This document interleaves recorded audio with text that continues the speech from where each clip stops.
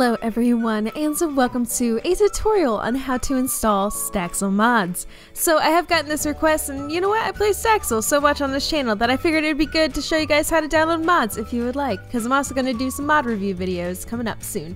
But anyway, so if you own the game, which I assume you do if you're on this video, uh, you will go to the library, go to your game section, scroll down until you find the Staxel and then don't hit this play button but actually scroll down to this Steam Workshop and then you'll just click the Browse the Workshop button. Take a second to load, and then you'll just see if you scroll down a list of mods. There are four tabs most popular, most subscribed, most playtime, and most recent. So let's go to most playtime. Um, let's see this food hat because that'll be a random fun mod to install for this. Okay, so what you're gonna do is you're actually just gonna hit subscribe.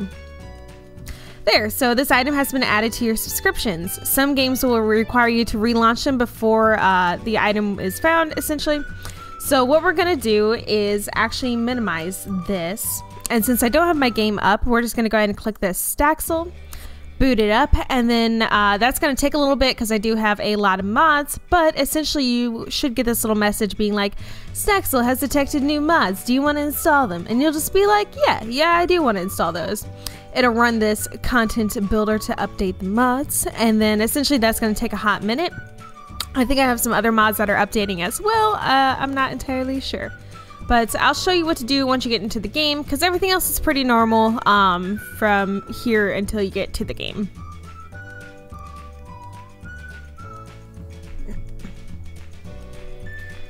Okay, so once you get the game booted up, and keep in mind that it will take quite a bit of time, it took me like two minutes, two, three minutes to actually download the mod, so don't be alarmed if it seems like it's uh, taking its sweet, sweet time, because it will do that.